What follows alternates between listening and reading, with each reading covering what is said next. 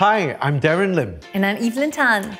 You know what? Evelyn and myself, we decided to do something interesting. We wanted to educate ourselves and also take up a course on investments. Mm, it's something that we've always talked about wanting to do, but never really got around to it. So, after some research, reviews, and recommendations, we decided to go with V College. That's right. Initially, we were a little bit skeptical, not just like most people would be when they're trying something new. But the truth is, we learn a lot, and that's so good.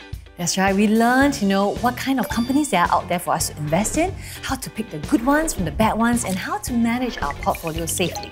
You know, I manage my own business, and to see how V College can make it so simple to understand share investing is literally mind blowing. Mm. But previously, I've always heard about you know, people talking about uh, collecting dividends from REITs and capital gains, but all these are just hazy concepts to me until after V College. So, you know, thank you, V College, for making it so simple for us to understand. and still, you thought it was a scam at first? I'm just being careful here, right? okay, talking about which, V College teaches using V apps. That's right. So, for those of you, if you've ever thought of investing in shares profitably, there are a few trusted and awesome programs. And V College's program is definitely one of them. They've garnered tons of five star reviews. So, we highly recommend that you check them out. I'm sure you'll be pleasantly surprised.